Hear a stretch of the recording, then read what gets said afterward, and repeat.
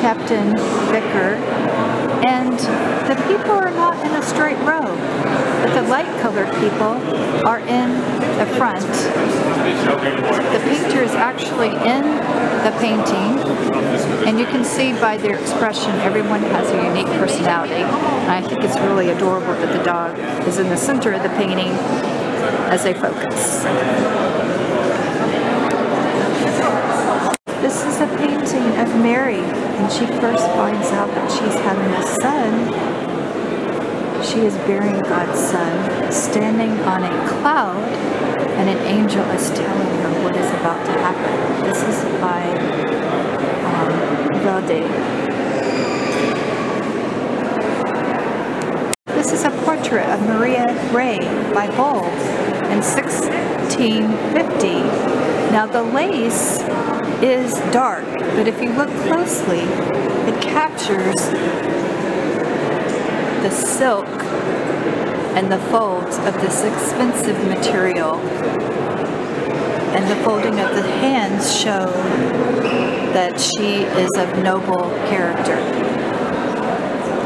Paintings are known to show biblical stories. This is the story of St. Paul healing the cripple.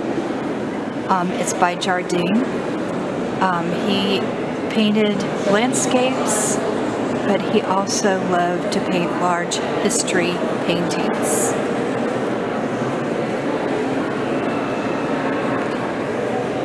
Portrait of an Amsterdam postmaster done by Bol and at this time Bol was developing his own elegant style based on the work of Van Dyck while continue, continuing to avail himself of Rembrandt's warm palette. Unites the best of these two models. Portray the time period. This is a portrait of a man who has uh, gone with his dog to hunt. That was part of a tradition using the hounds darting around him as a display of status. Given the low vantage point, we literally look up to him. This is the portrait of a man by Jardin, 1626 to 1678.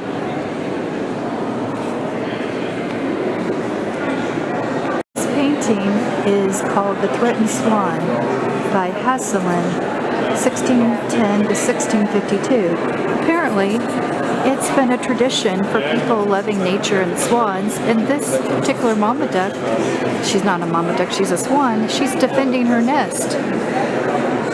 You can see her huge wings. She sees a predator coming.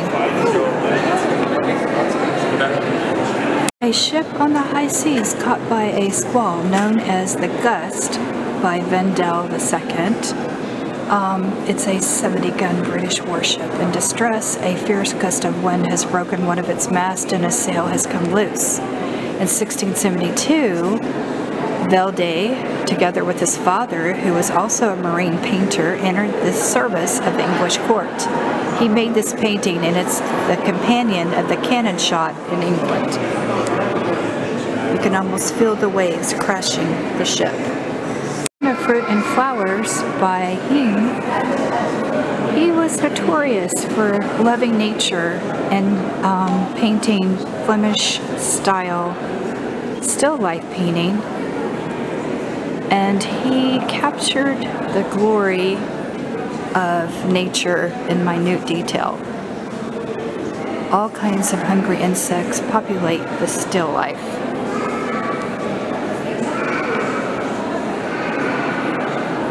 It's a beautiful river landscape with writers by Cuyp from 1620 to 1691. It's a panoramic sun-drenched river landscape with haze in the distance with clouds. Oil paintings show the history of Dutch ships in a calm sea.